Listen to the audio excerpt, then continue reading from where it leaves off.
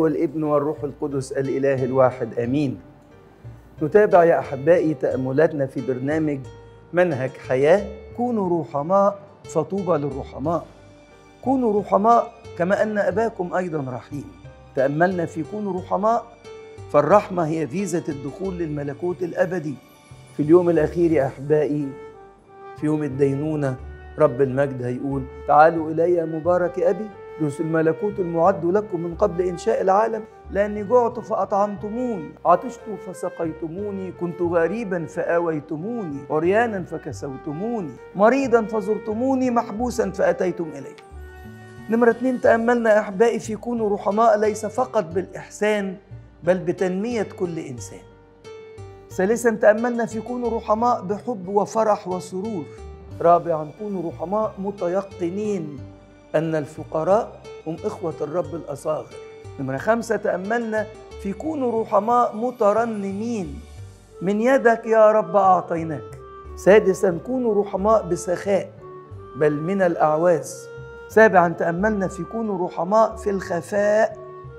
ثامنا تأملنا في قول معلمنا القديس يهوذا الرسول ارحموا البعض مميزين. ميز وإنت بتعطي الرحمة.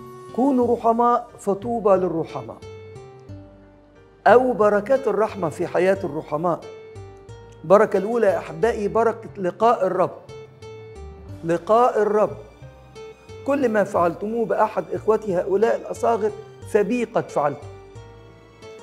بركة الثانية إن ربنا يبارك في كل أعمال الرحماء وجميع ما تمتد إليه أيديهم. كما ورد في تثنية 15 أعطي أخيك الفقير ولا يسوء قلبك عندما تعطيه لأنه بسبب هذا الأمر يباركك الرب إلهك في كل أعمالك وجميع ما تمتد إليه يديك. بركة الثالثة ربنا يفيض على الرحماء بالخير والبركة. كما ورد في سفر ملاخي النبي هاتوا جميع العشور وجربوني يقول الرب. إن كنت لأفتح قوى السماوات وأفيض عليكم بركة حتى لا توسع أي حتى لا يوجد اتساع يتسع له. بركة الرابعة الرب يبارك نسل الرحماء. كما ورد في مزمور 37 كنت فتى وقد شخت ولم أرى صديقا تخلي عنه ولا ذرية له تلتمس خبزا اليوم كله يتراءف ويقرض. ونسل للبركة. بركة الخامسة الرب يبارك حياة الرحماء بل تكمل بركتهم. يشوع بن صراخ يقول ابسط يدك للفقير لكي تكمل بركتك. بركة السادسة أن الرب ينجي الرحماء في يوم الشر. يقول داود النبي في مزموره الواحد وأربعين طوبى لمن يتفاهم ويتعطف في أمر المسكين والفقير. في يوم الشر ينجيه الرب. بركة السبعة الرب يحفظ الرحماء. طوبى لمن يتفاهم في أمر المسكين والفقير الرب يحفظه. بركة الثامنه الرب يحيي الرحماء. طوبى لمن يتفاهم في أمر المسكين والفقير الرب يحييه. بركة تسعة الرب يجعل الرحماء مغبوطين في الأرض. مغبوطين يعني مباركين فرحانين. قال داود النبي طوبى لمن يتفاهم ويتعطف في أمر المسكين والفقير الرب يجعله مغبوطا في الأرض. بركة العشرة الرب لا يسلم الرحماء إلى مرام أعدائهم. هكذا قال داود النبي الرحوم طوبى لمن يتفهم ويتعطف في أمر المسكين والفقير. الرب لا يسلمه إلى مرم اعدائه بركة الحادي عشر الرب يعضد الرحماء وهم على فراش الضعف. هكذا قال داود النبي طوبى لمن يتفهم ويتعطف في أمر المسكين والفقير. الرب يعضده وهو على فراش الضعف والوجع. إنك مهدت مضجعه كله في مرضه. بركة ال 12 يا أحبائي سعادة الرحماء. داود النبي بيقول في مزمور 112 سعيد هو الرجل الذي يترأف ويقرض بركة 13 الرحماء يدبرون أمورهم بالحق والعدل. يقول في نفس المزمور سعيد هو الرجل الذي يترأف ويقرض يدبر أموره بالحق والعدل. بركة ال 14 الرحماء قلبهم ثابت. متكلا على الرب أثناء التجربة من البداية للنهاية. يقول داود النبي في نفس المزمور سعيد هو الرجل الذي يترأف ويقرض لا يخشى من خبر السوء. بداية التجربة. قلبه ثابت متكلا على الرب. قلبه ثابت فلا يخاف حتى يرى بأعدائه. نهاية التجربة. بركة الخمستاشر الرحماء يرتفع قرنهم أو رأسهم بالمجد. يقول داود النبي في نفس المزمور سعيد هو الرجل الذي يترأف ويقرض يرتفع قرنه بالمجد. بركة 16 أن الرب لا يتخلى عن الرحماء. قال داود النبي في مزمور 37 كنت فتى وقد شخت ولم أرى صديقا تخلي عنه ولا ذرية له تلتمس خبزا. لم أرى صديقا تخلي عنه. والصديق وصفوا داود النبي في نفس المزمور بقوله يتراءف ويقرب. بركة 17 يا أحبائي أن الرحماء يجدون نعمة وفطنة صالحة في أعين الله والناس. يقول سليمان الحكيم لا تدع الرحمة والحق يتركانك تقلدهما على عنقك اكتبهما على لوح قلبك فتجد نعمة وفطنة صالحة في أعين الله والناس. بركة 18 يا أحبائي أن الرحمة والحق يهديان الرحماء ومخترعي الخير. يقول سليمان الحكيم في أمثال 14 أما يضل مخترع الشر أما الرحمة والحق فيهديان مخترعي الخير. بركة 19 ربنا يستر خطية واسم الرحماء. كما ورد في أمثال 16 بالرحمة والحق يستر الاسم. البركة العشرون كما قال سليمان الحكيم في أمثال عشرين الرحمة والحق يحفظان الملك. بركة الحادية والعشرون أن الرحمة تسند كرسي الملك. وطبعا الملك مش مش بس رئيس الجمهورية ولا ملك البلاد كل مسؤول كبير. يقول سليمان الحكيم مختبرا الرحمة والحق يحفظان الملك. وكرسيه يسند بالرحمة. بركة الثانية والعشرون أحبائي أن الرحماء يحسنون إلى أنفسهم. يقول سليمان الحكيم الرجل الرحيم يحسن إلى نفسه. بركة الثالثة والعشرون الرب يجازي الرحماء عن معروفهم. يقول سليمان الحكيم من يرحم الفقير يقرض الرب. وعن معروفه يجازيه. بركة الرابعة والعشرون التابع العدل والرحمة يجد حياة وحظا وكرامة. كما ورد في أمثال 21 بركة الخامسة والعشرون يا أحبائي من يصنع رحمة ويرمي خبزه على وجه المياه يجد بعد أيام كثيرة كما قال سليمان الحكيم ارمي خبزك على وجه المياه فإنك تجد بعد أيام كثيرة. بركة السادسة والعشرون يا أحبائي الرب لا يصرف وجهه عن الرحماء. توبيد الصديق قال لابنه طوبيا لا تحول وجهك عن الفقير فيكون أن الله لا يصرف وجهه عنك. البركة السابعة والعشرون يا أحبائي الرحمة تنجي من الخطية وتطهر كل خطية. توبيد الصديق قال لابنه طوبيا يا ابني كن رحوما حسبما تستطيع لأن الصدقات تنجي من الخطية ورئيس الملائكة رفائيل قال لطوبيد الصديق وابنه طوبيا الصدقة تطهر كل خطية بركة الثامنة والعشرون يا أحبائي خير الرحماء. طوبيد الصديق قال لابنه طوبيا وهو على فراش الموت قال له يا ابني احفظ الناموس والأوامر وكن محبا للرحمة وصديقا ليكون لك خير. بركة التاسعة والعشرون أحبائي أن الرحماء بالأرامل والأيتام هم أبناء الله المحبوبون. يقول يشوع بن صراخ في إصحاح أربعة كن أبا لليتامى وبمنزلة رجل لأمهم فتكون كابن العلي وهو يحبك أكثر مما تحبك أمك. بركة الثلاثون يا أحبائي مكانة الرحماء عند الله كخاتم عنده ويحفظ إحسان الإنسان كحدقة عينه. يقول يشوع بن سراخ في إصحاح 17 صدقة الرجل كخاتم عندي عند ربنا فيحفظ إحسان الإنسان كحدقة عينه. بركة الحادية والثلاثون يا أحبائي نصرة الرحماء. يقول يشوع بن سراخ الأخوة والعون لساعة الضيق.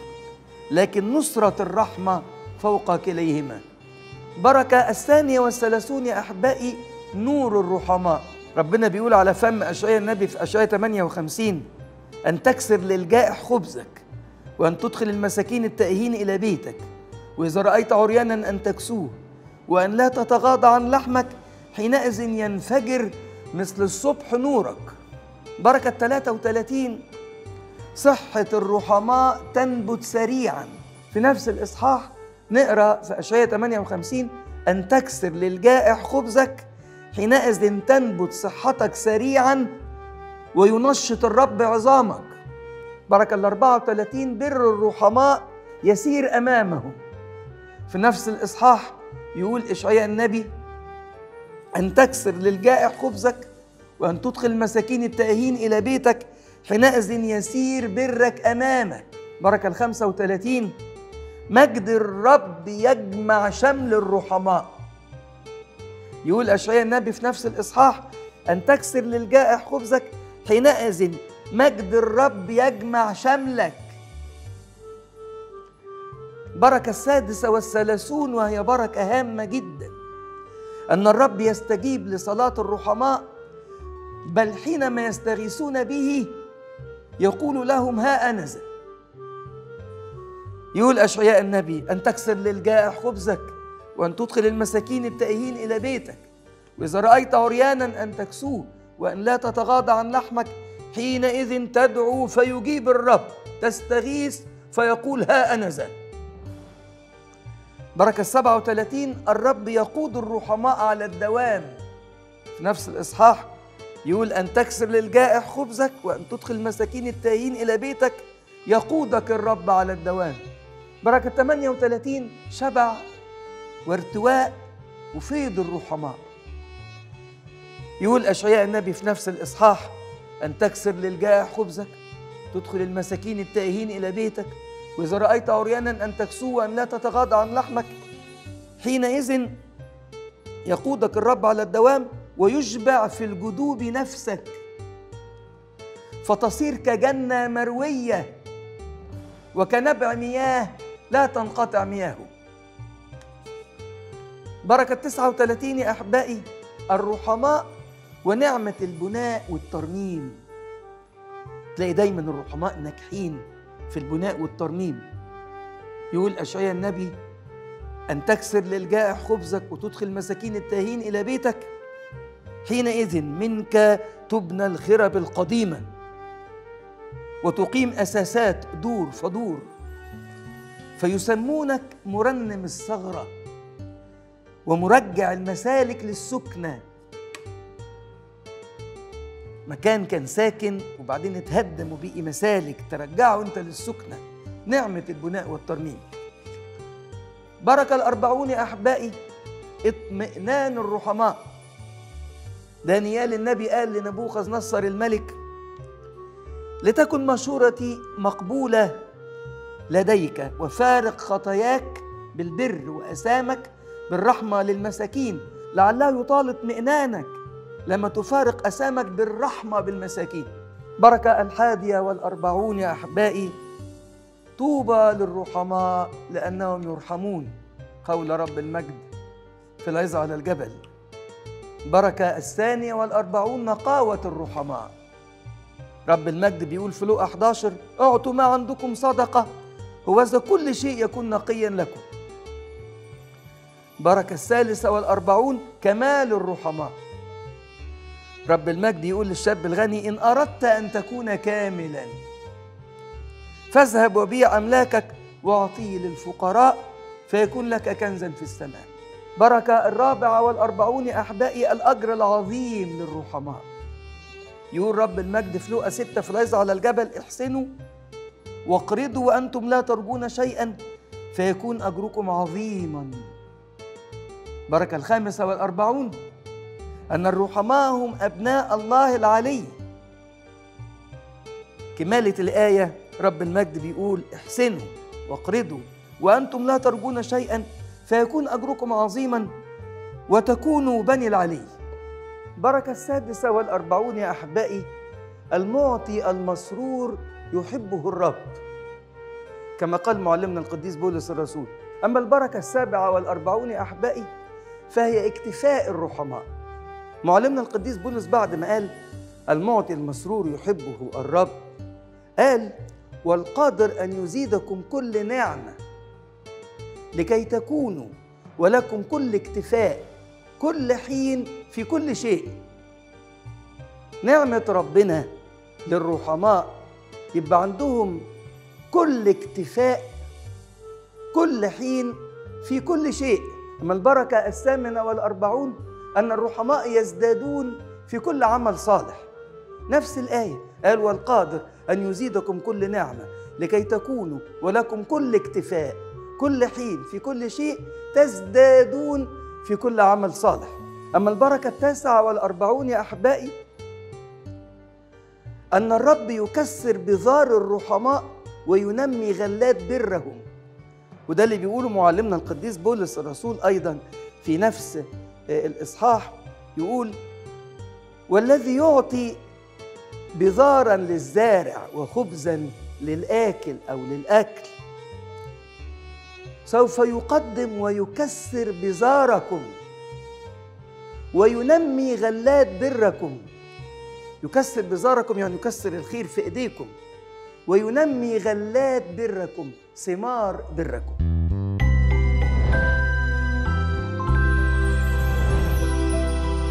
والله الذي يقدم بذارا للزارع وخبزا للأكل سيقدم ويكسر بذاركم وينمي غلات أو ثمار بركم.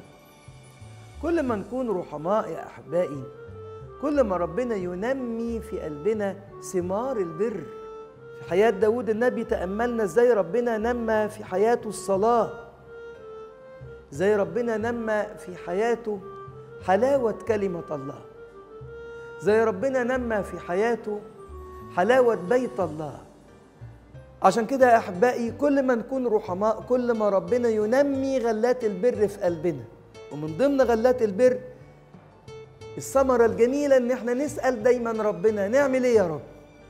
وربنا يهدينا ويرد علينا ويقودنا. شاول مات وداود بقي ملك. فنقرأ في صمويل الثاني إصحاح اتنين.